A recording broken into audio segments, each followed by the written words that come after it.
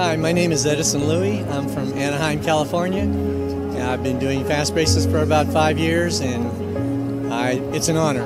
I've uh, done braces for about over 40 years, and I switched over, and my patients just love it. It's quick, efficient, and everyone's happy.